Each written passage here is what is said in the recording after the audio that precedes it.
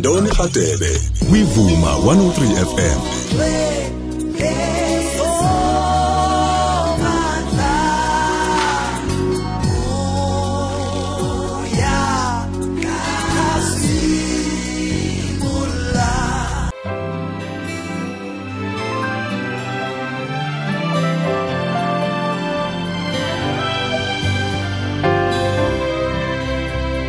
kuzona zonke izinto ezidlula kuzona empilweni we try to get ama-advices kubantu and all that stuff like we were trying to do namhlanje ku-anonymous giving her ama-opinions ahlukene so that she'll make a proper and informed decision ukuthi wenze njani from here.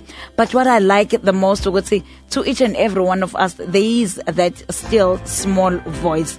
Within each and every one of us there is an inherent guidance system we are not thrown helplessly into a seemingly cold and cruel world without the necessary tools for taking care of ourselves. Yet, most people go through an entire lifetime never realizing the power they have at their command.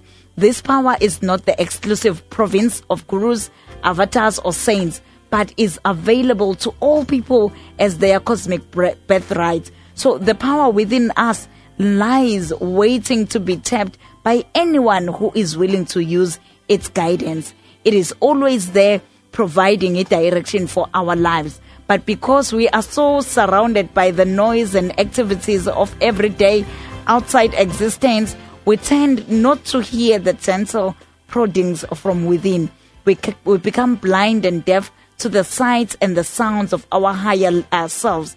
To begin using this guidance, one must be aware of its existence and then follow its direction. Many of the greatest minds on earth have testified to this still small voice within. It is an ancient, there is an ancient saying, um, and well worth repeating. Eti, before the demand is made, the supply